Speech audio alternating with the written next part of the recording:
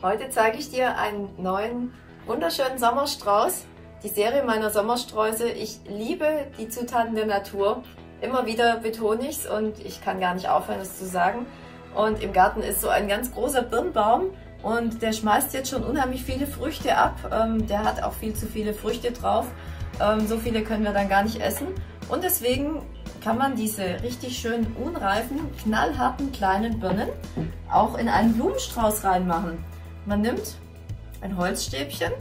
Holz finde ich immer ein bisschen besser als einen Draht, weil der Draht fängt an zu rosten so und äh, spießt einfach die Birnen auf, weil die sind jetzt natürlich noch wunderbar unreif, da geht das ganz toll. Und dann habe ich die schon mal äh, schön fixiert, um die dann in den Strauß einzufügen.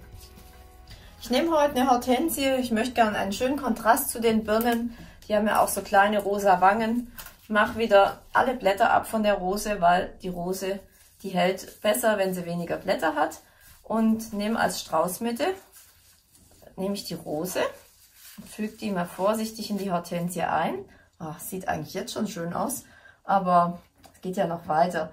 Dann habe ich rosa Schleierkraut, auch Gypsophila genannt, ähm, habe ich mir ausgesucht, weil ich wollte dieses rosa Träumchen auch mit ein paar Früchten das wollte ich dann eigentlich ganz gern so fortführen. Und die Birne, cool, oder? Die wird dann einfach so reingelegt, dreht sich vielleicht noch ein paar Mal. Dann gucken wir mal, wie die am Schluss so wird. So, das Schleierkraut verhakt sich so schön. Und dann machen wir einfach so einen, so einen schönen kleinen verträumten Schleierkrautkranz um diese Hortensie. Und ich habe auch extra ähm, die Rose schön im Kontrast zur Hortensie und und die Birnen, die heben sich natürlich dann auch sehr, sehr schön ab. Birnen oder kleine Äpfelchen sind auch ganz toll in Sonnenblumensträußen. Aber ich glaube, der Fantasie sind wie immer keine Grenzen gesetzt. Und ich finde auch immer ganz schön, wenn so ein spielerisches Gras dazu, ein Wuschigras, wenn man das noch mit einfügt. Die, die Gräser so ein bisschen schwingen lassen. Und wenn wir gerade beim Schwingen sind, dann machen wir es doch komplett. Dann nehmen wir als Umrandung. Schönes Grün macht ja immer wertig und immer toll. Es ist unglaublich, was für eine Stimmung das macht im Strauß. So, dann nehme ich noch Korallenfarben. Umrande das Ganze mit Bergenienblättern.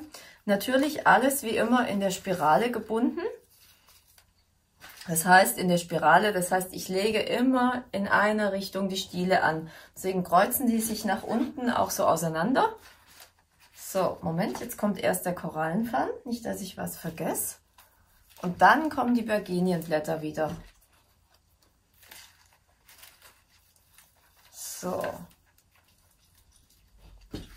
Und die sind auch so schön groß und breit, dass ich da, dass das schon eine ganz tolle Straußumrandung ist. So, ja. Und nun ist eigentlich dieser kleine dieser kleine feine Sommerstrauß mit diesen wunderschönen Früchten auch schon fertig. Also man sieht, es geht ratzfatz. Man muss nur die Ideen haben. Ähm, ich wünsche dir ganz viel Spaß beim Sammeln. Guck mal auf Obstwiesen, ob schon irgendwo was runtergefallen ist, was nicht reif wird. Und äh, beim Zusammensuchen der schönen Blüten. Das war heute mein Sommerstrauß. Bitte viele Daumen, Kommentare, Likes. Ich freue mich über jede Nachricht. Bis bald, deine Margit. Tschüss!